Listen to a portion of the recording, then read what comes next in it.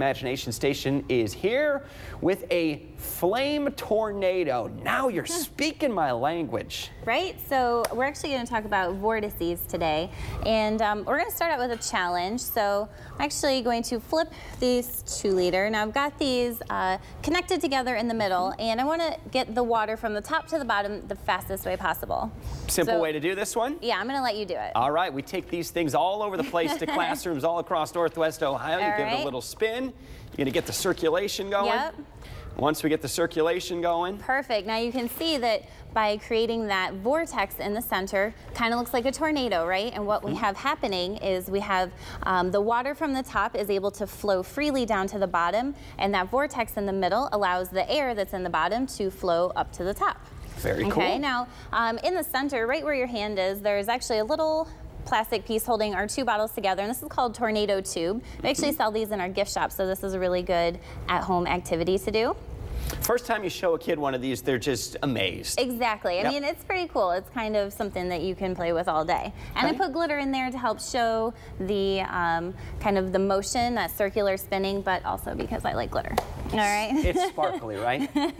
So uh, what we're going to talk about now is the fire tornado. So you've probably heard of regular tornadoes. You're just talking about tropical storm Danny coming through, and um, maybe even sharknadoes. Sharknadoes. Terrifying, right? Yeah, so what we're going to do is look at a fire tornado, which is not something that you want to do at home, um, but it has a pretty simple setup. So I have a Lazy Susan down here. We put a trash can on top, and inside I have some cotton balls, and I put a little bit of lighter fluid on those. All right, so what I'm going to do is actually use my blowtorch to ignite our flame in the center. So we're going to go right through there.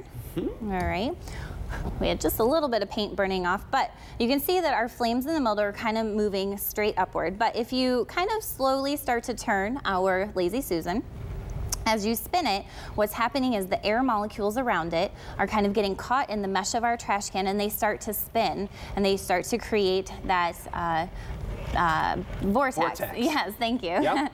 that circular motion. So um, what's happening is all that air is moving is causing our flame to move with it. Okay, now this is something that firefighters actually do have to be aware of because not only can brush catch on fire, but depending on topography and the way that trees are laid out, sometimes that uh, wind coming through can actually create a fire tornado. Not uncommon to see this, especially with all the wildfires that are going out uh, Exactly. in the west coast or the western third of the United States, all up Sure. to Washington State California. It's uh, fairly common, yeah? Yeah, so we're gonna stop that for a minute and I'm actually going to put another one on top. So now we've kind of doubled the amount of mesh that we have available. So go ahead and spin it again.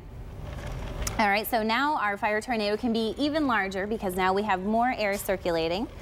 And to make it really fancy, kind of show that spinning motion, we're actually gonna add some iron in there.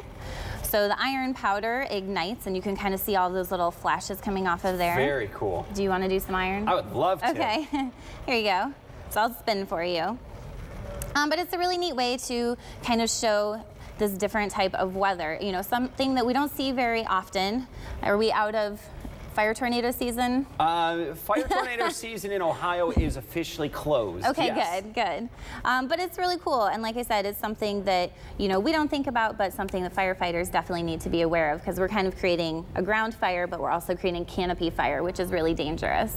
So, but pretty amazing that Respect the vortex. Right. Is what you're saying. Exactly. Whether it's a water tornado, regular tornado, or fire tornado. Right. Sarah, thank you so much for that. Imagination Station, what's new with you guys? We are um, actually talking about vortexes, vortices, actually um, at Imagination Station. So we are doing air cannons this week, so you can come check that out.